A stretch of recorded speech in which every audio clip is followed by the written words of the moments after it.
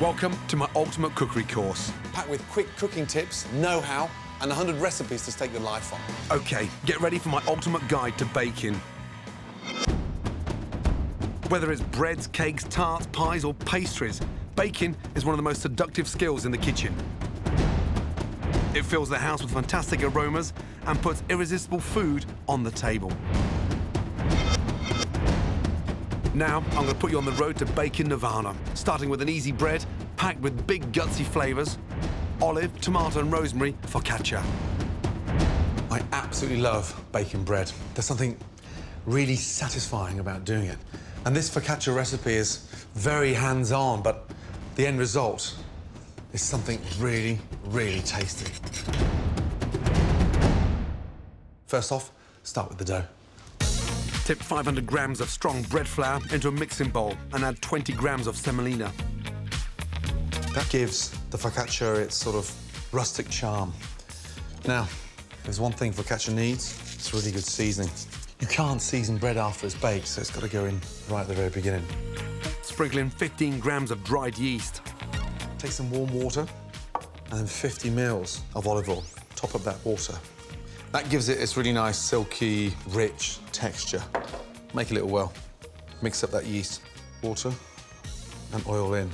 Start off with the fingers. Keep the fingers nice and open. It's like a little sort of whisk going in there. I'm looking for a really nice sort of relaxed dough.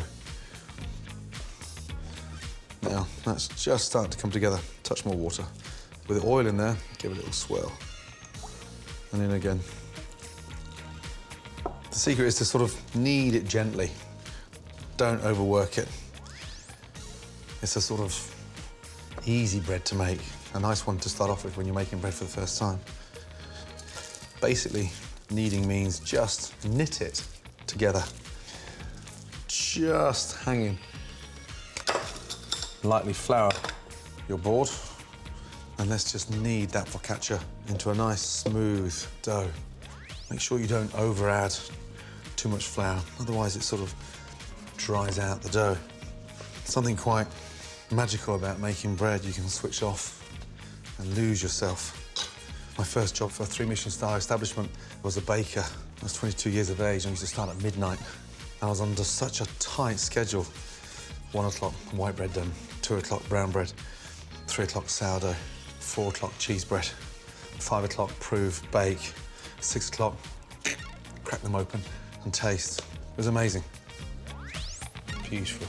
Look at that. Looks stunning. Hasn't even risen yet. Leave your dough to rise in a warm place until it's doubled in size. We call this proving. Look at that. Beautiful. A lot of chefs sort of need it for the second time, but I'm looking for a really nice, light, aerated focaccia.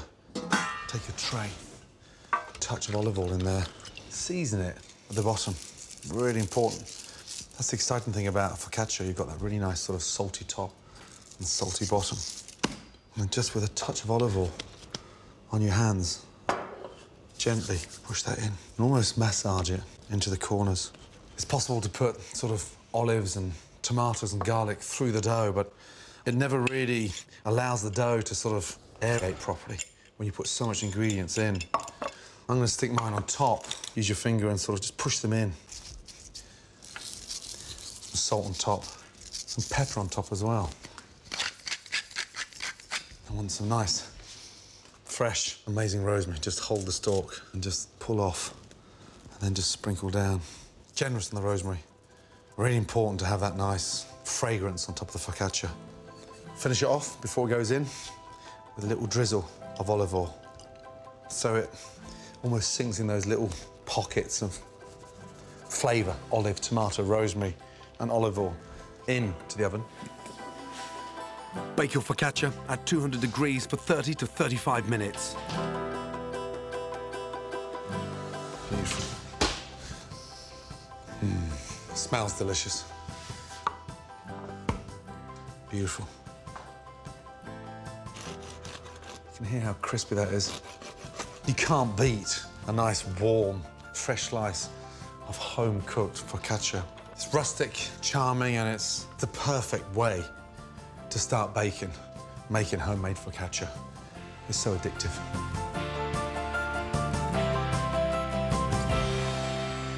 Getting to grips with baking is just a matter of confidence.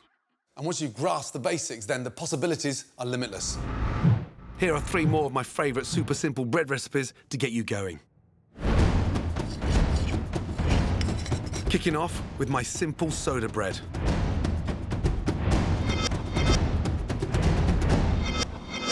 First up, measure out your dry ingredients. Plain flour, wholemeal flour,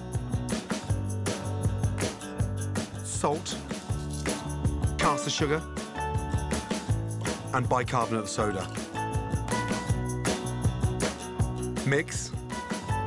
Get 450 ml of buttermilk, pour most of it in and combine. Buttermilk has a wonderful, subtle sour note that gives this bread a deliciously different taste. You can get it in most of the big supermarkets.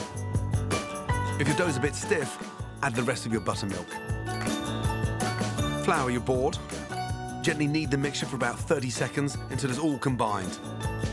Dust your baking tray. Place your dough in the centre and score a deep cross with a knife to get a perfect crust. Then simply bake in a preheated oven for 30 to 35 minutes. Amazingly easy, absolutely delicious and foolproof. Hot, crusty homemade soda bread whenever you want. My next no sweat bread recipe is even faster to make. Quick flatbreads with lemon, thyme and ricotta. For the dough mix, first slice a leek lengthwise and chop. And saute in a pan with hot olive oil and butter till tender. Season. Next, combine flour with a pinch of seasoning and olive oil. And mix in your cooked leeks. Bring the dough together in a bowl with a drop of warm water. Cover and rest for 20 minutes. Allowing the dough mixture to relax means the resulting bread will be nice and soft. Then dust the dough with flour. Mold into a sausage shape. Slice it into rounds. And flatten with a rolling pin.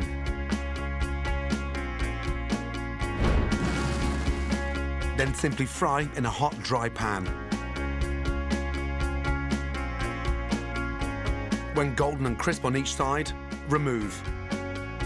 For a simple supper, serve with a cottage cheese, lemon zest, and fresh thyme. So simple, so fast, and so versatile, flatbreads to die for. Next, how to make one of the world's most popular bread-based foods fast. Mozzarella and rosemary pizza. For the pizza dough, add yeast to warm water.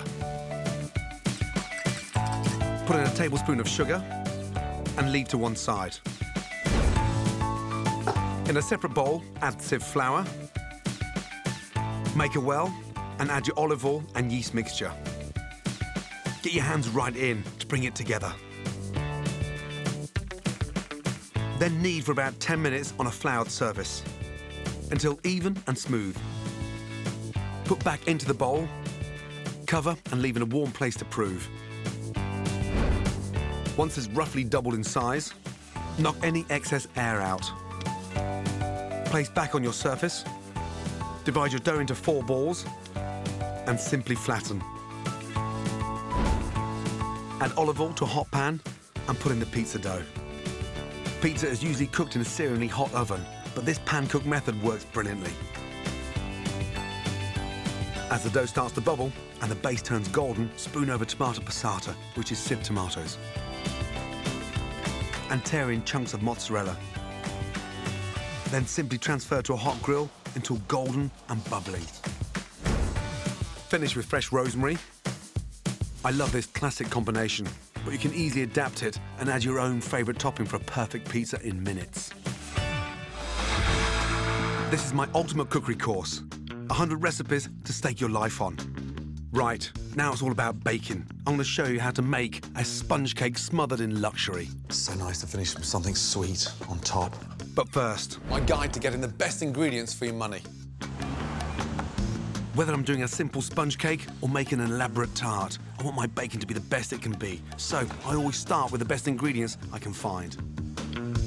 knowledge is crucial. The more you know personally about where your ingredients are from and how they're produced, the better. Flour. To get the lowdown on one of the key ingredients to brilliant baking, it always pays to ask an expert. And if there's one man who can really rise to the occasion, it's professional miller Mark Abel. Doing a job like this means that you end up thinking and living flour. If that's obsession, I'm obsessed. At his mill, which has stood in Norfolk since 1835, Mark uses traditional stones to grind his flour, so he really knows his stuff.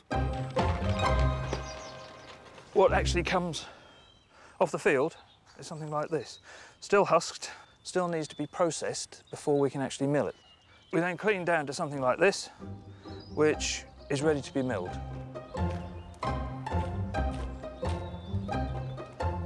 All this is, is a great big machine, which means you don't have to do it by hand. Rather than try and improve its performance by adding additional chemicals, what we're trying to do is mill it in the best way to get that performance from it. If you can put a seed in between stones, you can make flour out of it. Uh, it's that simple. Barley was what was traditionally used to, to make bread for people to live off. Oats can be used as well. And of course, good old spelt, the great-grandmother of modern wheats, which has the most fantastic flavour and is, because of its primitive nature, the proteins in it are simpler. So a lot of people can eat that. They can't eat modern wheat. Keep your eyes on the shelves. Look and see what is there. And if something strikes you as being potentially interesting, then get it and try it. Mix your own, blend your own together so that you can get the flavour that you want with the performance that you want. Mark's right. Different flours perform and taste wildly different, and so they're well worth trying out. Here's my quick guide to some of the flours I like using. Strong flour is the one to choose for standard bread making. The higher the protein content, the crustier your loaf will be. The flour hailing from Italy, double zero. It's super finely milled and perfect for pasta. I like to use it for pizzas too, because it produces a nice crispy crust like the one on my mozzarella and rosemary version. Rye flour will give you really dense, fruity flavoured bread, fruit cakes or scones. If it's too heavy for you, just mix it with standard wheat flour. And when you are baking, remember that self-raising flour is just plain flour with raising agents added. So if you run out, you can add baking powder and salt to your plain flour and get baking. That's the real stuff, that's it. Fresh flour straight out of the mill is so superior in flavour and performance that uh, it's only when you come to use it you realise what the difference is. If you're going to experiment with ingredients in baking, you still need to follow some basic rules to make sure things turn out brilliantly every time. Then, whether you're a master baker or you're just starting out, you can pimp up the classics, whether it's a Victoria sponge or a fruit scone. And that's the lesson perfectly illustrated by my next recipe, sponge with fresh ginger. Baking is part chemistry, part imagination. But you've got to rely on the rules for great results. It's the only time you'll see me reaching for the scales. First off, eggs, sugar, butter. And when I say weigh out the ingredients, it does literally mean weigh out to the final gram, 175. Now, 175 grams of sugar. That's 350 grams in total. Cream, the butter and the sugar. Get a delicious light sponge, start carefully on slow speed. Only speed up as the butter and sugar really start to cream together. Keep that really nice and light. You can see how it's changed colour. So important at the beginning. Eggs in. Give them a little whisk. Adding one egg at a time stops the mix from separating. Second egg in. Third one in.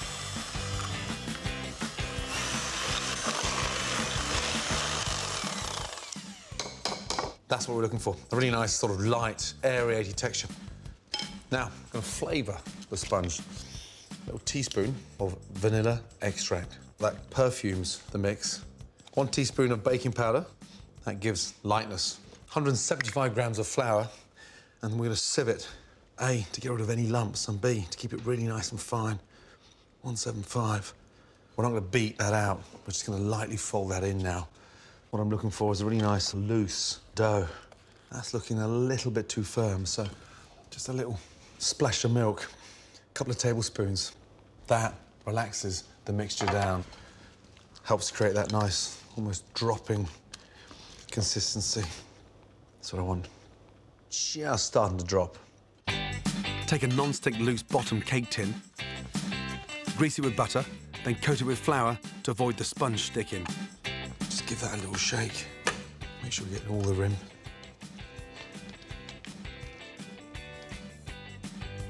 Now, just get the back of the spatula. Make sure you've got no peaks on my sponge. To make sure the sponge bakes nice and evenly, tap the tin a few times to knock out any air pockets that might have formed in the mixture. Now, into the oven. Bake for 30 to 35 minutes at 180 degrees. As that's cooking, prepare the ginger cream for the centre. 300 ml of cream. Give that a nice whisk. Whisking cream by hand gives you so much more control, and it's so easy to over whip cream. I want that nice, light ginger cream in the centre. I don't want it grainy. Nothing worse when cream starts to separate. Now, let's get into that three-quarter stage. Little stiff peaks. Stop that for two minutes. Fresh ginger. Now, get a really nice, large slice of ginger. It smells incredible. It's so fragrant. Peeling ginger is like sort of peeling a potato. Just take out all those little dark spots. Now, get your grater. If you haven't got a grater, you can chop the ginger really finely. I've got almost like a puree of ginger going through, but the juice as well. Take your knife and just scrape all that. Taste.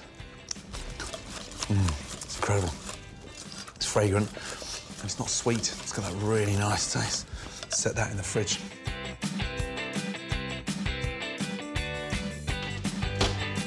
Mmm, it smells incredible. Run a knife around the outside to ensure the cake doesn't stick to the tin before turning it out. Now, get your hands under. Push up and out. While your cake cools, I'm gonna do like a really nice, sweet chocolate coating. pour 300 mils of double cream into a saucepan. Add two tablespoons of golden syrup to make the top nice and glossy. Then whisk. Chop this up really thinly so as it melts quickly. 50 grams of butter. That's gonna give the chocolate a really nice shine. Boil your cream and mix it in. Give that a really good stir. As the chocolate and the butter melts, it thickens. Look how shiny that is. It's so nice to finish with something sweet on top. Topping done, time to build your sponge cake. Look at the halfway mark there and just gently slice and really take your time all the way through. Lift.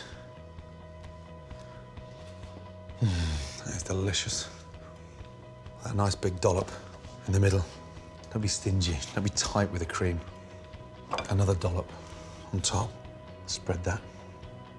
Very carefully. Lift the lid and just sit that on top. That's why I start off with a little extra cream in there, so when I squash it down, the cream just pushes out to the side. I'm not finished. Pour the luxurious chocolate topping over the sponge. Be generous and make sure the cake is coated thoroughly to give it a gorgeous finish. Get the bottom of the ladle and spread. Whoa. One more. Whoa.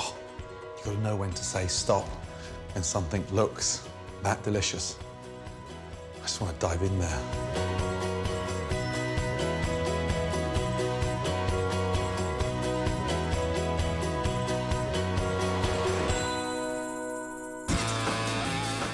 Five more of my 100 tips to help you cook better. And of course, these are all about baking. Kicking off with how to whip cream. Whipping cream.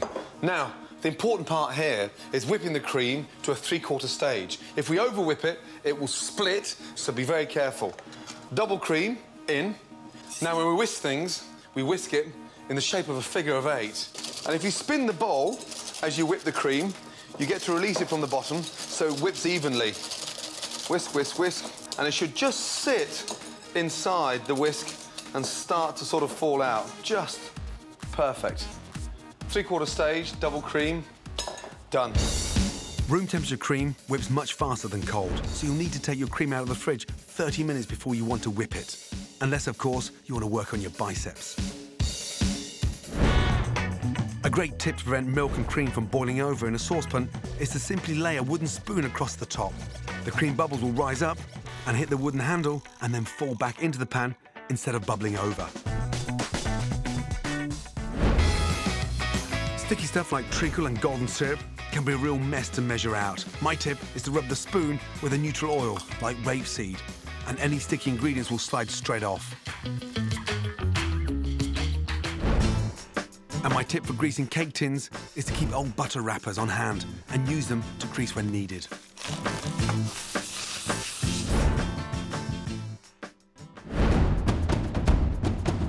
Follow my ultimate cookery course, packed with key lessons, top tips, and 100 recipes to stake your life on. And you'll literally be cooking yourself into a better chef. Many of these amazing recipes Are on my app. Please check out the App Store for details. Go on, get cooking. Okay, this time I'm going to help you achieve better baking. The great thing about pastry is, if you follow the basic rules, the possibilities are endless.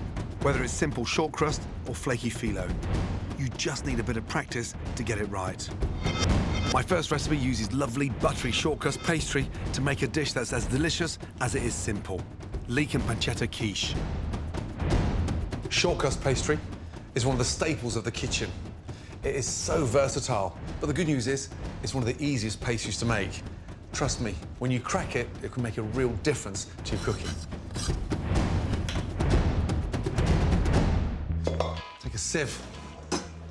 When you think of short crust pastry, it's sort of semi-flaky, but it's rich, buttery. Start by sifting 200 grams of plain flour into a mixing bowl. Large pinch of salt. 200 grams of unsalted butter. Bring the butter up to room temperature. If you let the butter become too soft, then the flour sort of doesn't absorb it. In with your fingers. Rub together first. Now, the secret is grab big handfuls and squeeze the butter into the flour.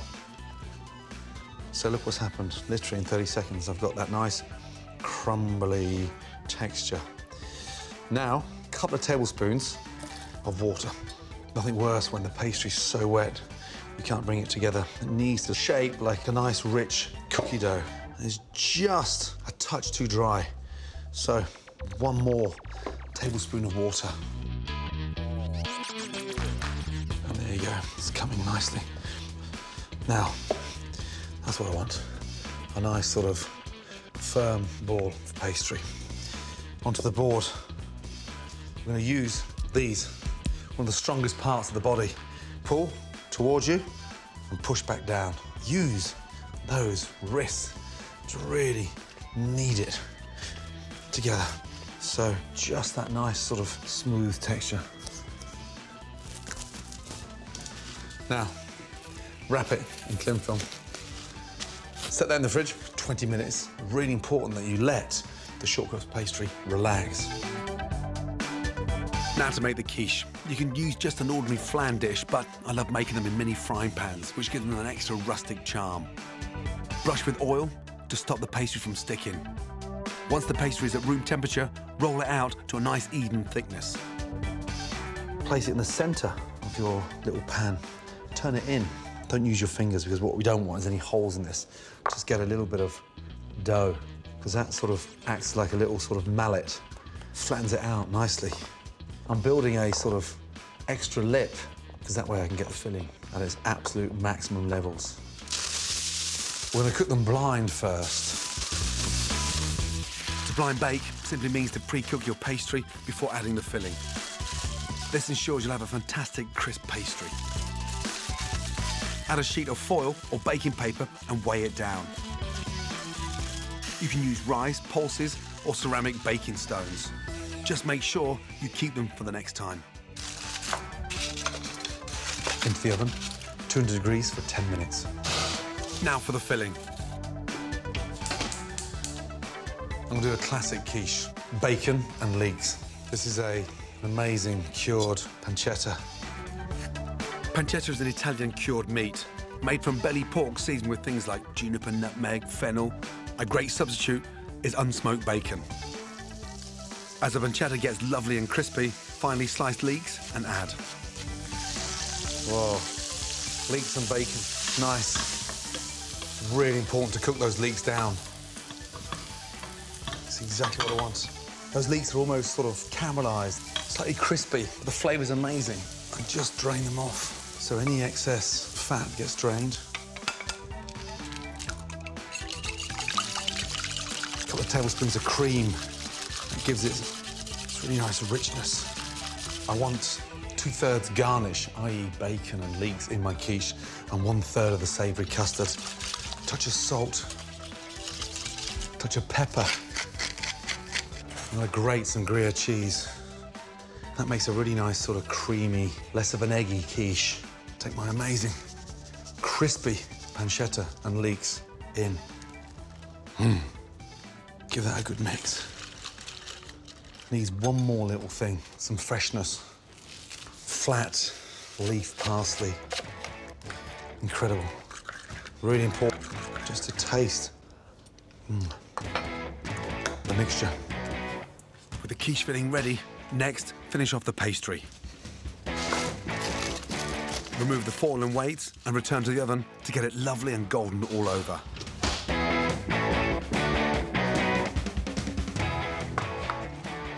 Now, when we fill them, give that a really good mix up.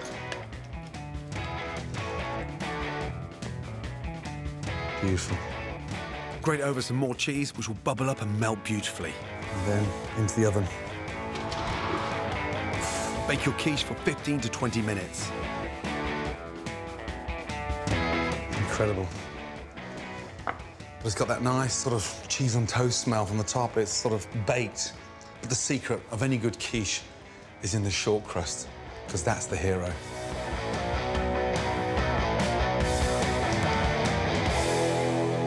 There are lots of different types of pastry. So, to help you put you on the road to pastry perfection, here are three of my simple pastry recipes that you can easily cook at home.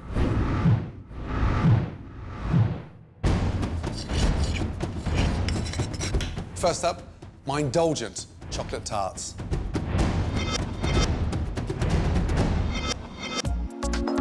First, combine softened butter and sugar and cream until soft.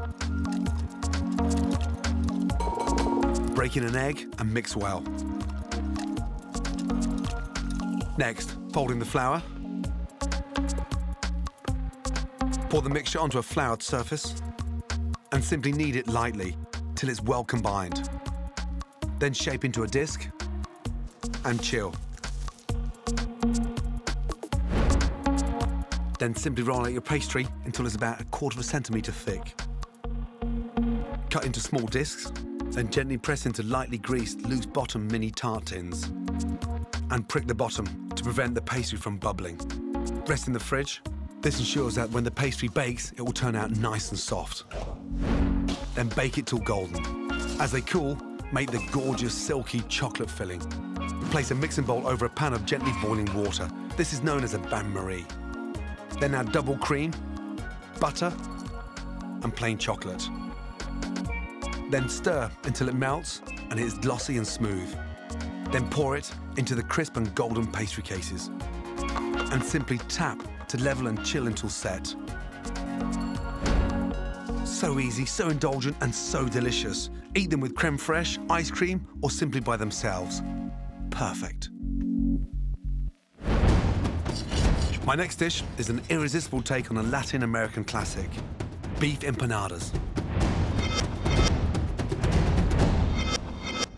First, finely chop onion and garlic. Sweat in a pan of hot olive oil until tender. Add paprika, cinnamon, and cumin. And stir.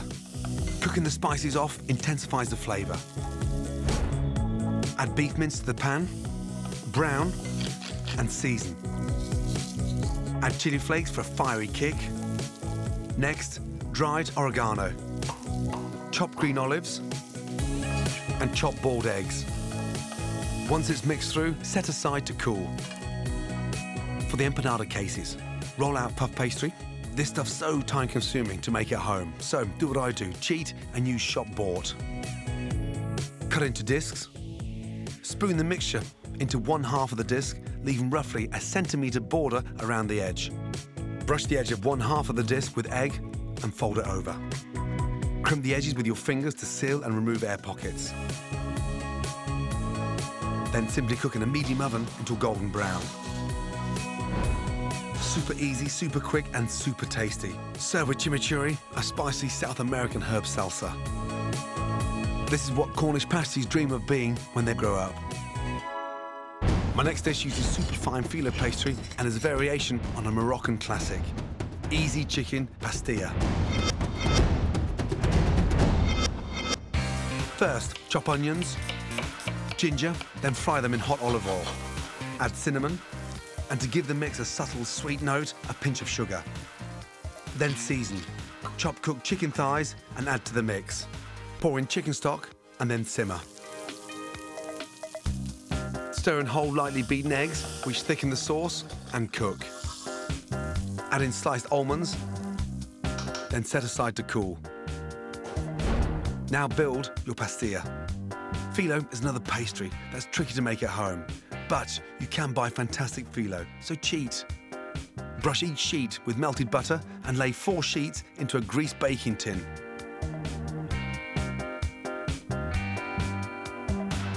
Spoon in half of the fantastic aromatic chicken filling.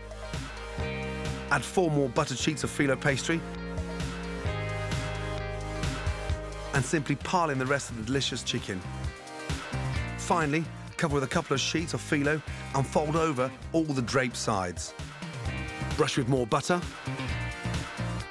then bake in a hot oven for 10 to 15 minutes until the top is crispy and golden brown. You want all the phyllo paste wonderfully crunchy and golden. So turn over and return for another 10 minutes. When done, remove. And for a different but delicious sweet finishing touch, dust lightly with icing sugar and cinnamon. Intensely aromatic, sweet and savoury, crispy and succulent, an extraordinary pie that has to be tasted to be believed. Three types of pastry, three mouth-watering fillings, three more recipes you can stake your life on. And so simple to do. Beautiful. For easy, accurate baking, you need the right kit. You don't need to spend a fortune on masses of kitchen equipment. Here's my quick guide to two essentials you need for baking. Scales and a sieve. Baking is so popular now. These scales absolutely essential, especially when you have to follow the recipe to the exact gram. These digital scales are so easy to follow, They can convert from pounds and ounces to kilos and grams. and more importantly, so much easier to use than your mum's old weights. Absolutely perfect. A sieve. Make sure you get one with a long handle and balancing hooks so you can rest it over your mixing bowl or a pan. Easy thing to have in the drawer, costs nothing, but it's so effective, especially with baking. With these two pieces of kit, you'll definitely be on the right road to baking like a pro. Welcome back to my ultimate cookery course. Next, on my guide to better baking, I'll be teaching you how to make a stylishly simple and sumptuous cheesecake. Beautiful. But first, be it baking or any type of cooking, it always pays off to use the best ingredients you can find. And you're never too old to learn from the experts. Next, my shopping guide to getting the best milk and cream.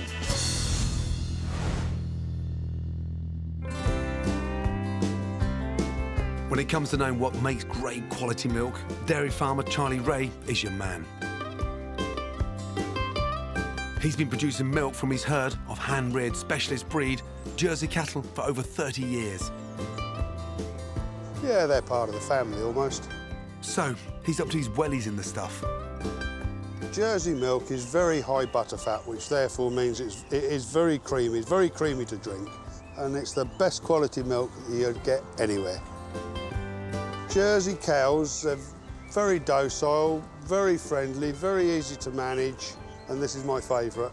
Um, she's about 17 years old. She's called Misty, If you think of the large Arctic milk tankers you see going up and down the motorways, she's filled one and a half of those on her own.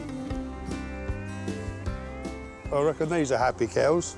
They've got a dry roof over their heads, they've got a dry bed, and they've got as much food as they want. The happier they are and the better kept they are, the better the quality of the milk that comes out the other end.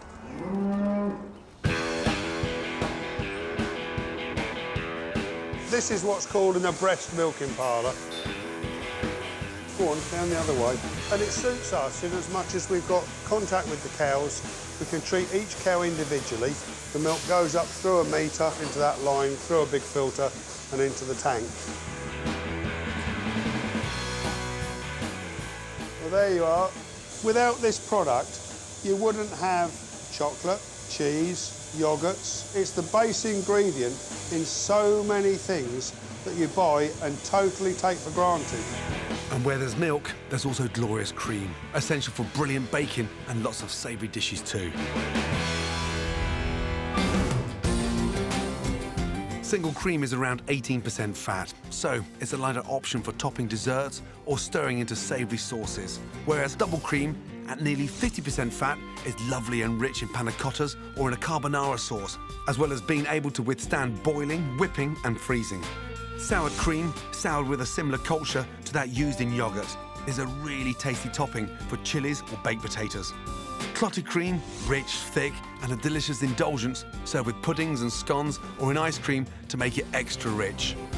And mascarpone, actually a creamy, soft Italian cheese famously used in Italian dessert tiramisu. It's also fantastic in cheesecakes. It is font of all life.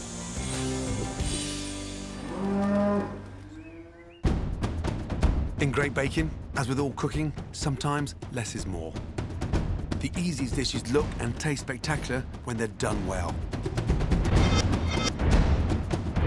And it doesn't come any simpler or more stylish than my next dish. Wonderful baked cheesecake.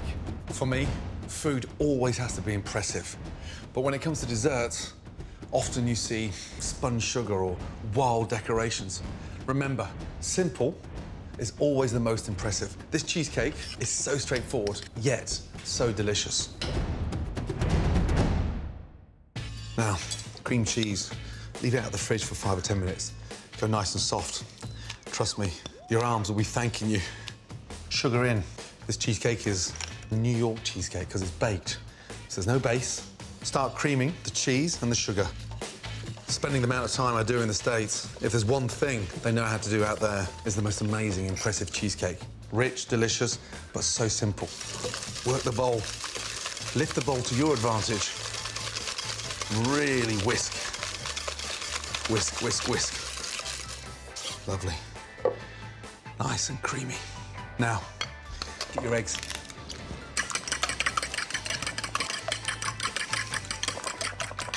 Add the eggs to the mixture bit by bit. Doing it this way, it's more efficient. A, you're incorporating a lot of air. B, the mixture doesn't separate. The last of your egg. Lovely. Of course, you can use an electric mixer, but why go to the gym when you can just make a cheesecake a day? A cheesecake a day. Keep the bingo wings away. Now, a couple of tablespoons of flour. Give it a whisk. Stops it from going lumpy. Now, I want to scent that cheesecake. I've got the freshness, zest of the lemon in there. I want to sort of tart it up even more. Fold in some fresh raspberries. Sort of just mix them through. Be careful not to crush them. Then grease a cake tin with butter. This will ensure your cheesecake slides out beautifully. Get your mix. Let that fall in. Now take your cake tin and just tap it. The mixture hits the bottom of the cake tin. The raspberries rise and you've got raspberries at the top, the middle and the bottom. And it also stops all those little pockets of air trapping underneath the mixture in the cake tin. So there's no holes in the cheesecake. Now, into the oven, 180 degrees for 35 to 40 minutes.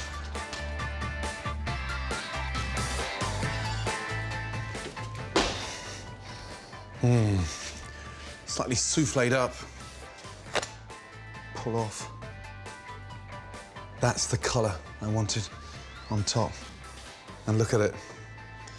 It's one of the simplest, yet the most stylish cheesecakes anywhere. Beautiful.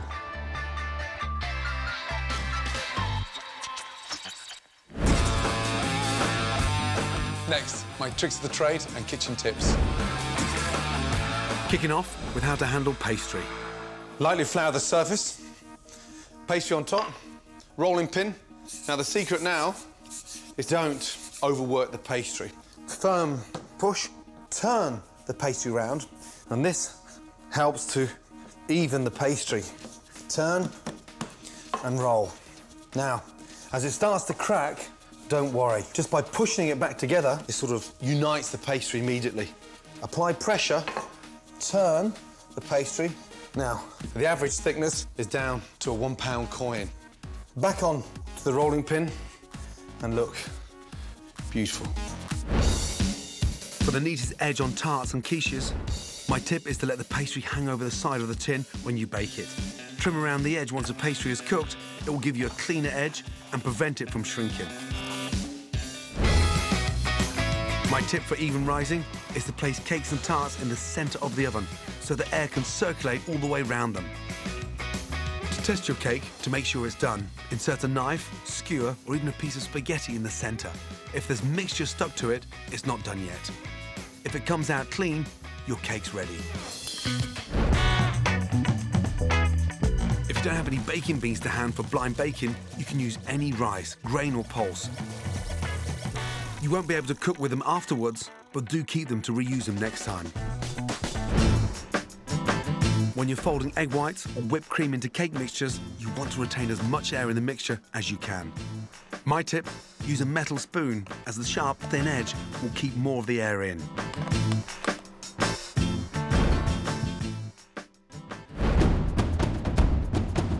Follow my ultimate cookery course, crammed with key lessons. Top tips, and 100 recipes to stake your life on, and you'll literally be cooking yourself into a better chef. Many of these amazing recipes are on my app. Please check out the App Store for details. Go on, get cooking.